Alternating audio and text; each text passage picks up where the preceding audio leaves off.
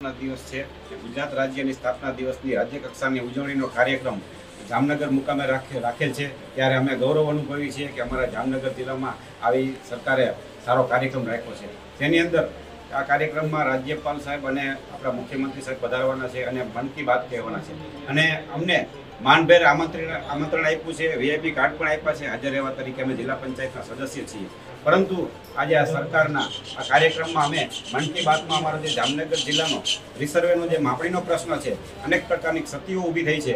જેમાં મોટા પાયે વહીવટથી ભ્રષ્ટાચાર આચરવામાં આવે છે. ત્યારે આ ભ્રષ્ટાચારની વાત અમે લઈને મુખ્યમંત્રી સાહેબને કરવાના હોય તો આવા કાર્યક્રમમાં અમને હાજર ન રહી ન રહી શકીએ.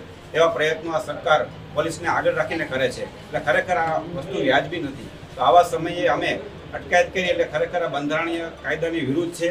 તો અમે આ સમયે આગલા કાર્યક્રમ, આગળનો કાર્યક્રમ પણ કરવાના છીએ. આજનો દિવસ તો અમારો કાર્યક્રમ મોકૂફ રહ્યો છે. પરંતુ આવનારા સમયમાં અમે આ ભ્રષ્ટાચારની પોલ ખોલીને સો ટકા સરકારને સામે કાર્યક્રમ કરવાના છીએ. આજે અમારા દસેક જણાની કાર્ય દસેક જણા કાર્યકર્તાઓની અને જિલ્લા પંચાયતના તથા તાલુકા પંચાયતના સદસ્યોની અટકાયત કરવામાં આવી છે. આજે અમે જે તે વિસ્તારમાં રહીએ છીએ, હું નિકાવા રહું છું, તો ત્યાંથી અમારા જેટી પટેલ સાહેબ કાલાવડથી છે, આપણા મુડીલા અશોકસિંહ ત્યાંથી છે, પછી તાલુકા પંચાયતના સદસ્ય પૂર્વાભાઈ શ્રી ચંદુભાઈ, ઋષિરાજસિંહ સોડા અમારા યુથ પ્રમુખ તમામની જે તે વિસ્તારમાં રહે છે, ત્યાં ઘરેથી અટકાયત કરવામાં આવી છે.